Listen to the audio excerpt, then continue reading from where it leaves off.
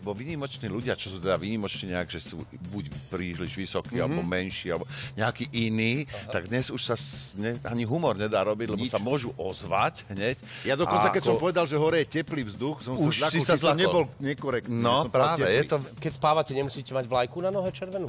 Prečo? Nie. Hovorí, že vám trčia nohy.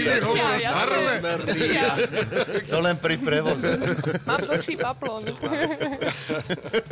Teraz zase sme urobili tzv. režisérsky Už sa to začalo. A ja mám tiež takto výnimočne vysokého syna napríklad. A, ja mám vyššieho syna. Ešte vyššieho? A, a Michal má ešte vyššieho. Koľko má váš syn? Koľko meria? 1,95 m. Oho, no 204. Jeha. A stále to ide hore. Taký vysoký bol poštár? A... Ja som hobit. Videl som mu holé nohy, je. Neviem, čo budeš hobit. Na to, že má chalán 14 rokov, celkom fajn. Podľa chlpatosti priehlavkou je hobit.